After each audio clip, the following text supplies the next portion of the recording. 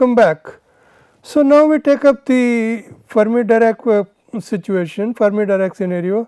As you know Klein Gordon uh, equation deals with particles, scalar particles that is particles having no sp spin and uh, massive, uh, they have non-zero masses. Uh, now, we talk about Fermi Dirac particles uh, which have spin, spin half particles and which are usually called fermionic particles. Uh, so, we shall develop this theory right from scratch and we shall work on to work on to the fermionic path integral that is our agenda for the current lecture. So, let us proceed.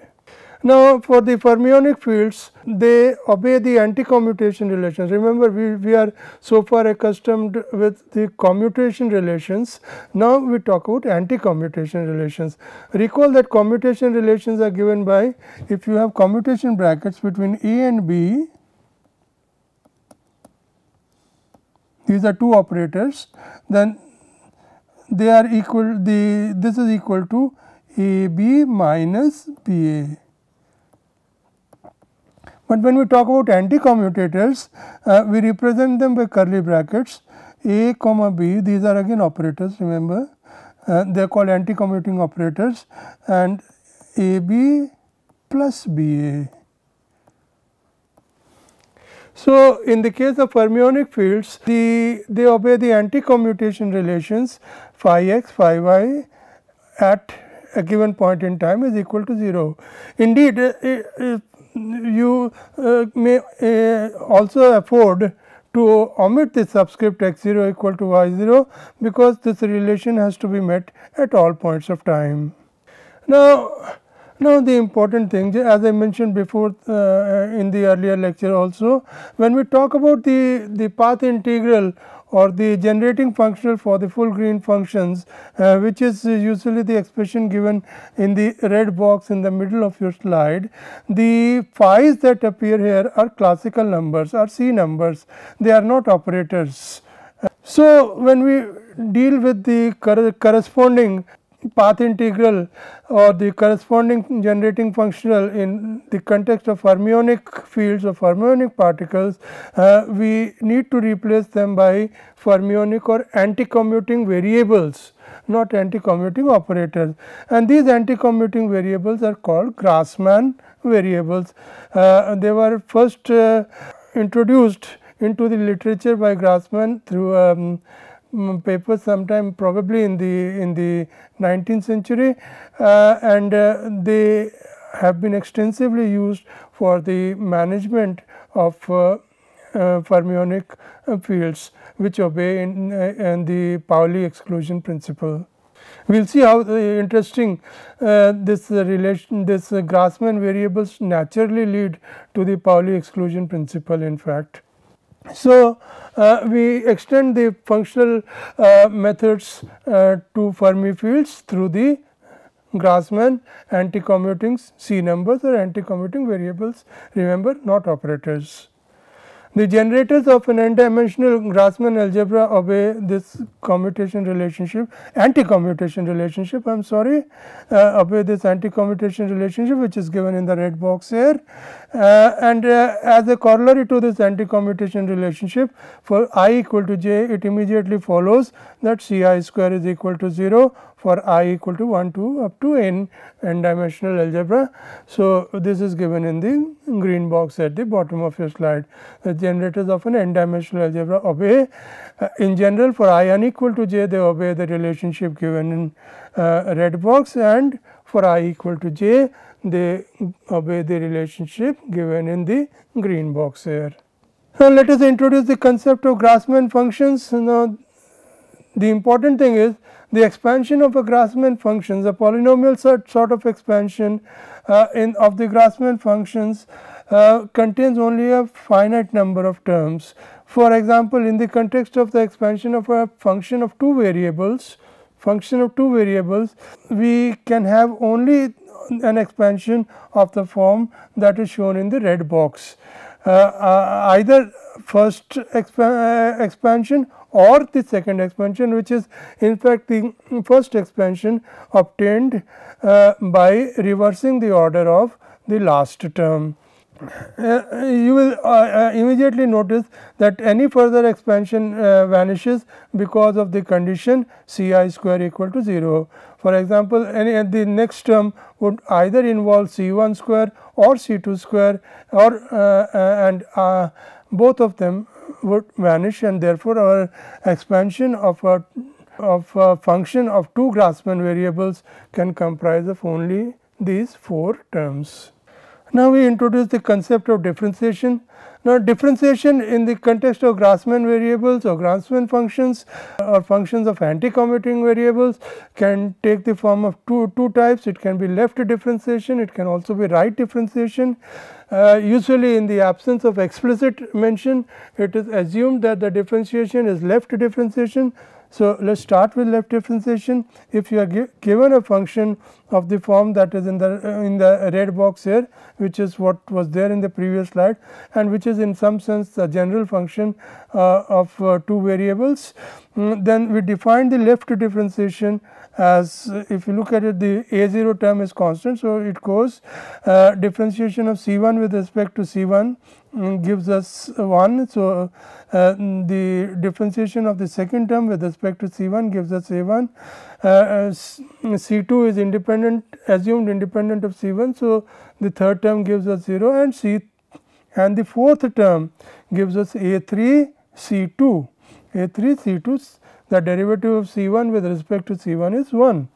Now, and similarly if I want to work out this is the uh, derivative of f with respect to C 1 the left hand uh, left derivative of uh, uh f with respect to C 1. Let us now work out the left derivative of f with respect to C 2. For this purpose we need to write the uh, write the last term in the form that is given in the second equation uh, plus a 3 c 1 c 2 needs to be written as minus a 3 c 2 c 1 using the anti-commuting property and then of course, we can uh, differentiate as we did in the earlier case and what we get is a 2 minus a 3 c 1. So, the results are tabulated here in the green box at the bottom of the slide. Similarly, we can define right differentiation for the purpose of right differentiation.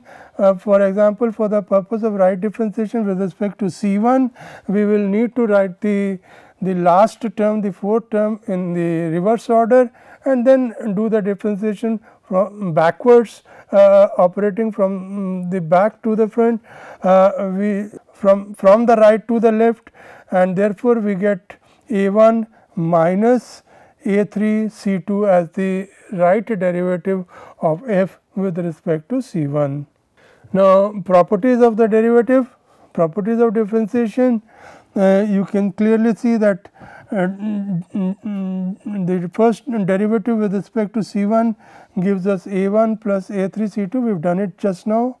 Uh, therefore, C 1 into the first left derivative of f with respect to C 1 gives us A 1 C 1 plus A 3 C 1 C 2 and C 1 f on the other hand gives us A 0 C 1 if you can uh, if you multiply throughout by C 1 it gives us A 0 C 1 A 1 term vanishes because C 1 square is equal to 0 uh, plus A 2 C 1 C 2 you are multiplying by C 1 from the left and again the fourth term also vanishes.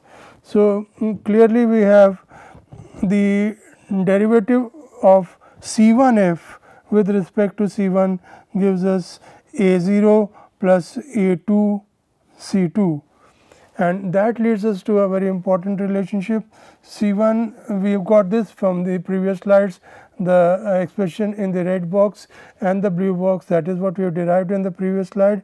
And from this what we find is that the expression that we have um, gives us that C 1 uh, into the derivative with respect to C 1 plus derivative with respect to C 1 C 1 is equal to 1.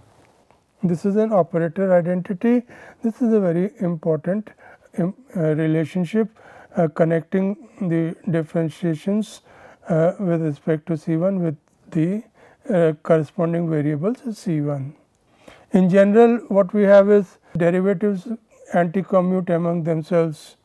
The anti-commutator of C i with its own derivative is equal to 1.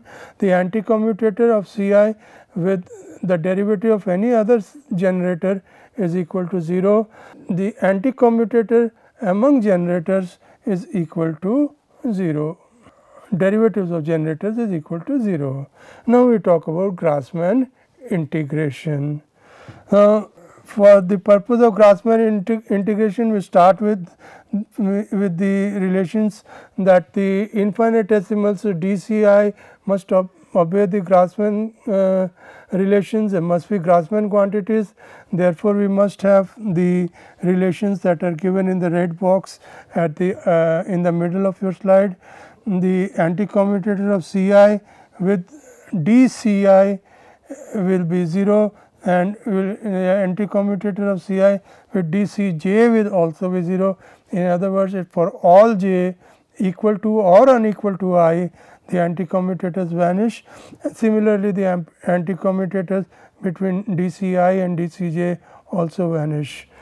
Multiple integrals are interpreted as iterated in integrals as is uh, the case in uh, in uh, usual uh, uh, calculus and we have integral of dci d, dc1 dc2 fc1 c2 is equal to dc1 integral dc2 fc1 c2. Now, what are integral dc1 that is very interesting let us start with integral dc1 square. We write it as integral dc1 integral dc2 with with the condition that we shall put dc1 equal to dc2 at the end of our calculations. Uh, this is nothing but using the uh, anti-commutator. Uh, we can write this as dc1 dc2 integral in the, in the is using the property of multiple integrals I can write it as integral dc1 dc2 that becomes integral dc2 minus dc2 dc1 using the anti-commutator and now I put dc2 equal to dc1. So, what I get is integral dc1 minus integral dc1 whole square. Let me retrace the steps integral this is important integral dc1 square is equal to integral dc1 integral dc1 put C1 put 1 equal to 2 uh, with the condition that we will replace it later. So, that becomes integral dc1 integral dc2 uh, the, uh, because of the property of multiple integrals I can write it as integral dc1 dc2 uh, which I can replace as integral dc2 dc1 uh, mm, with the minus sign due to anti commutation and now I can write 2 equal to 1 and I get minus integral d c 1 square and, and this at the uh, therefore, I get integral d c 1 square is equal to minus integral d c 1 square uh, at the end of the day and that implies that integral d c 1 is equal to integral d c 2 is equal to 0. Since there is no other scale uh, no other scale to Grassmann variables we choose we choose integral dc1 c1 equal to 1 and so on integral dc2 c2 equal to 1 and so on. Now, we move to the n dimensional case. In the n dimensional case what we what we have is uh, on uh, in analogy with what I have said earlier, uh, we uh, get the relations. Integral d c 1 is equal to 0, d c i is equal to 0 now, where i is equal to 1, 2, 3 up to n. And integral d c i into c i is equal to 1 uh, for every i uh, between uh, including and between 0 to uh, sorry 1 to n. Now, integration of f c 1 c 2 let us see what we get integration of f c 1 c 2. Remember what is f? f is equal to a 0 plus a 1 c 1 plus a 2 c 2 plus a 3 c 1 c 2 that is the definition of f c 1 c 2. Uh, so, what we get is integral d c 1 of f integral of f d c 1 in other words uh, is equal to integral d c 1 into a 0 plus a 1 c 1 plus a 2 c 2 plus a 3 C 1 C 2 this is equal to A 0 integral d C 1 plus uh, the uh, d C 1 distributes over all, all these terms uh, uh, uh, of the function f. And now we use the property uh, d integral d c 1 is equal to 0, integral c 1 d c 1 is equal to 1, integral d c 1 in the third term is also 0, integral d c 1 c 1 in the fourth term is 1. So, what we are left with is a 1 plus a 3 c 2 and now recall that the derivative of f with respect to C1 was also A1 plus A3 C2. So, at, at least as far as f C1 C2 is concerned the a general function of two Grassmann variables integration and differentiation give us the same result. Now, we come to integration of exponentials. Let eta and eta bar be independent complex Grassmann quantities eta and eta bar be independent complex Grassmann quantities. So, we have integral d eta is equal to 0, integral d eta bar is equal to 0 and d eta integral d eta in, uh, eta is equal to 1, integral d eta bar eta bar is equal to 1, but eta square is equal to eta bar square is equal to 0. Therefore, we have e to the power minus eta bar eta is equal to 1 minus eta bar eta the the remaining terms will go will be 0 because of the doubling of or the squaring of either eta or eta bar. So, what we have is e to the power minus eta bar eta is equal to 1 minus eta bar eta and therefore, the integral of d eta bar d eta e to the power minus eta bar eta is equal to integral d eta bar d eta minus d eta bar d eta eta bar eta. The first term is clearly 0 and the second term is clearly 1.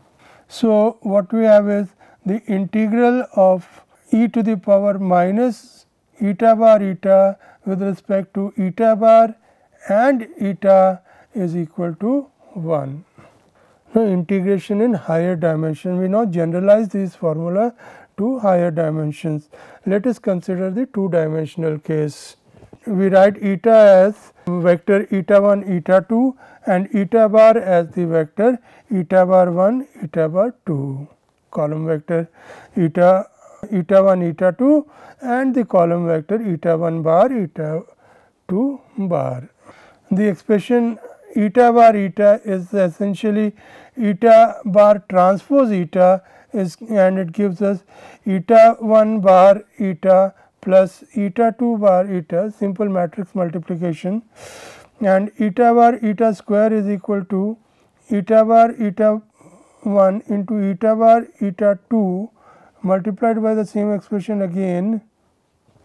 And uh, when we simplify this expression uh, the first term and the fourth term vanish and we are left with eta 1 eta 1 bar eta into eta 2 bar eta and the cross terms are there and uh, we have eta 2 bar eta 2 and eta 1 bar eta 1 and these two terms because of the anti commutators uh, operating twice uh, they add to each other and we have 2 eta 1 bar eta 1 eta 2 bar eta 2 mm, because as uh, you can see the anti-commutator operates twice because of this squaring and the higher powers are obviously 0.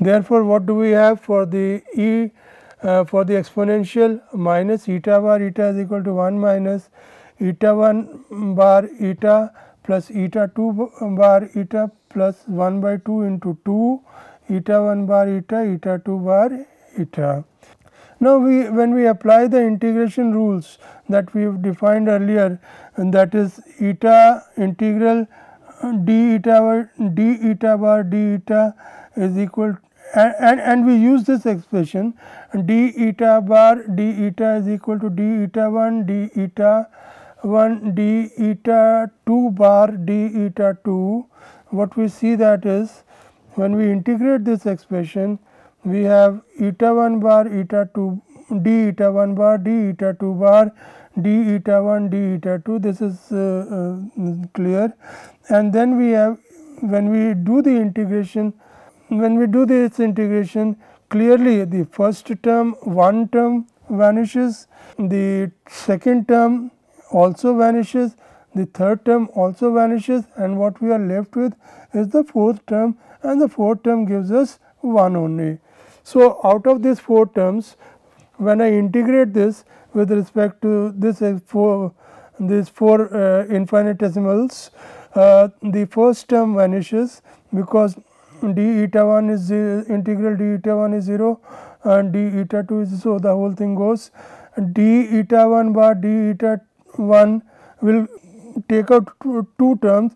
d eta 1 bar into eta 1 will be 1 d eta 2 bar into eta 2 uh, will be 1 uh, I am sorry d eta 1 bar with d eta 1 bar will be 1, eta 1 bar with d eta 1 bar will be 1, eta 1 with d eta 1 will be 1, but the other two terms will be will be 0. So, again it is 0. The third term similarly will be 0, eta 2 bar with d eta 2 bar will be 1, eta 2 with d eta 2 will be 1, but the other two terms will be 0. So, again it will be 0 and the only term left is the fourth term which eta 1 bar will join d eta 1 bar give, give us 1, eta 1 will join d eta 1 give us 1, eta 2 bar will join d eta 2 give us 1 and eta 2 will join d eta 2 and give us 1. So, the net result will be 1 here again as in the one dimensional case. The change of variables what happens when you change variables. Let us say eta is equal to uh, the column vector eta 1 eta 2 and this is equal to m into alpha where m is a matrix given by the expression in the red box here m 1 1 m 1 2 m 2 1 m 2 2 and uh, then alpha 1 alpha 2. So, this is the change envisaged in other words the change envisaged is eta 1 goes to m 1 1 alpha 1 plus m 1 2 alpha 2 and eta 2 goes to m 2 1 alpha 1 plus m 2 2 alpha 2 and eta similarly similarly eta bar goes to n alpha bar where n is another similar matrix n is n 1 1 n 1 2 n 2 1 and n 2 2. So, what we have is eta 1 eta 2 is equal to m the expression that is given in the red box here uh, and if you simplify this expression uh, again alpha 1 into alpha 1 gives us alpha 1 square uh, which is 1 alpha 1 into uh, alpha 1 gives us alpha 1 square which is 0 uh, alpha 1 into alpha 2 is uh, retained. And similarly alpha 2 into alpha 1 is retained. That is nothing but minus alpha 1 uh, into alpha 2 and uh, alpha 2 into alpha 2 is again 0 alpha 2 square is 0. So, what we end up with here is determinant m into alpha 1 alpha 2. So, eta 1 eta 2 is equal to determinant m into alpha 1 alpha 2 a very important expression we carry forward this one.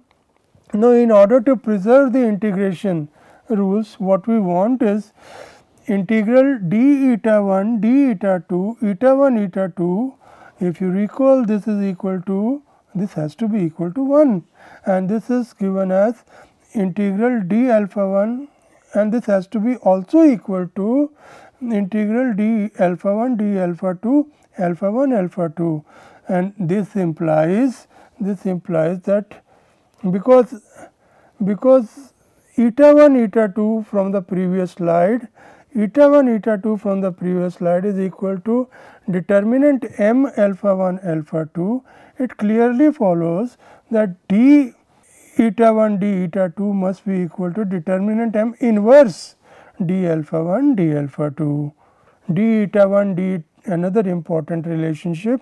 D eta 1 d eta 2 is equal to determinant m inverse d alpha 1 d alpha 2 and recall eta 1 eta 2 is equal to determinant m alpha 1 alpha 2. Now consider so we have the following results. We have the following results. Eta is equal to m alpha eta bar is equal to n alpha bar.